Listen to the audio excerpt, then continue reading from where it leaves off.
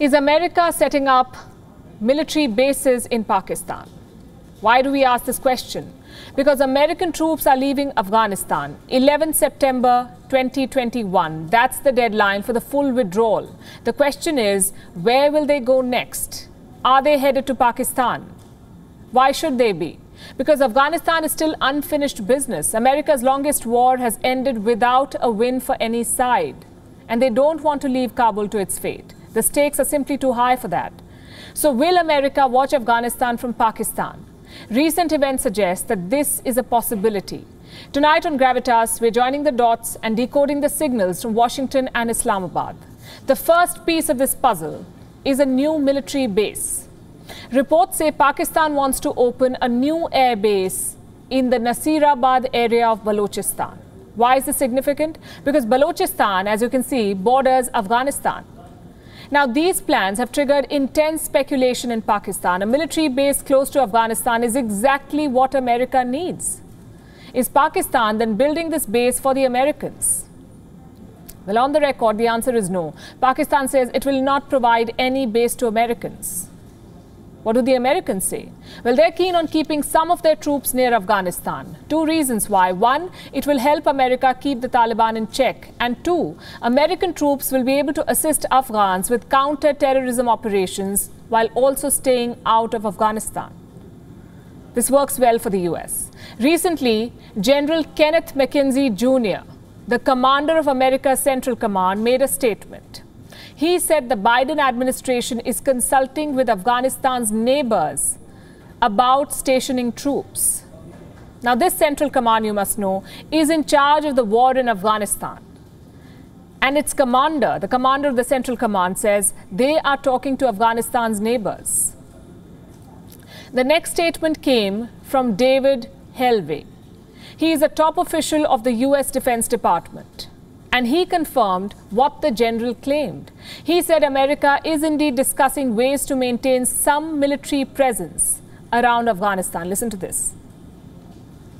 We're working to reposition our counterterrorism capabilities, including by retaining assets in the region to prevent a reemergence of a terrorist threat to the United States homeland from Afghanistan and to hold the Taliban to its commitments to ensure that Al Qaeda does not once again gain a foothold there or that ISIS or any other terrorist group uh, could use Afghanistan as a base to attack us.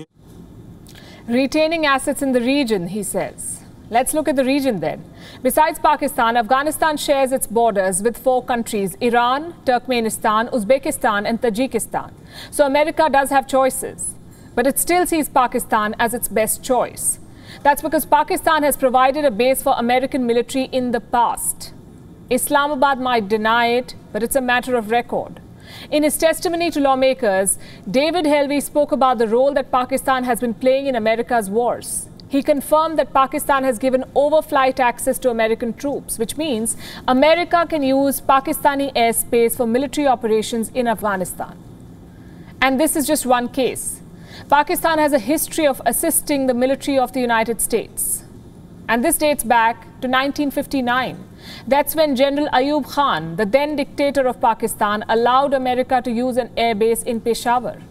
The Pakistani airbase was used for intelligence gathering and for spying on the erstwhile Soviet Union.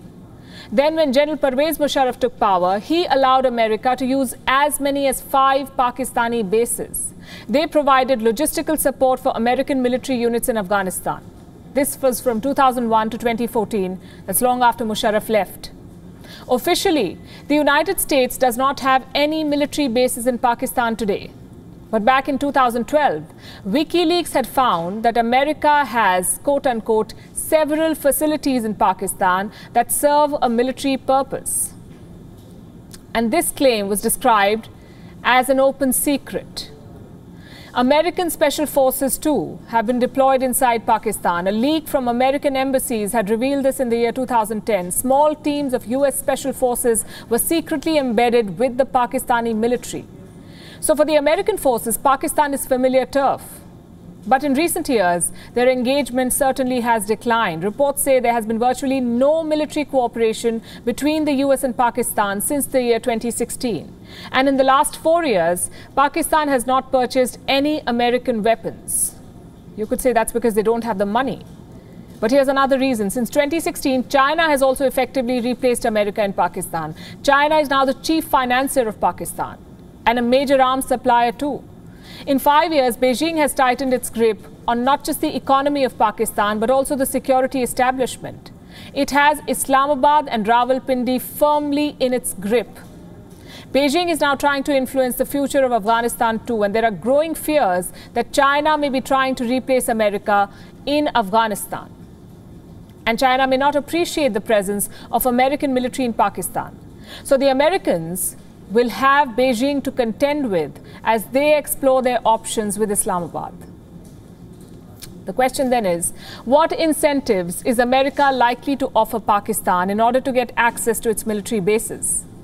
It can offer to sell more weapons, that's one option, perhaps even resume security aid.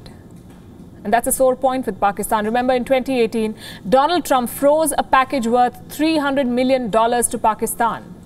Will they start giving this money now? American officials were asked about this. They refused to comment. Now, what if Pakistan refuses to play ball? Does America have other options? Yes, it does. In the past, US forces have been deployed to bases in Uzbekistan, Kyrgyzstan, and Tajikistan. So, if Pakistan is out of the equation, which would be a good idea, Central Asia could play a vital role in ensuring stability in Afghanistan. WION is now available in your country. Download the app now and get all the news on the move.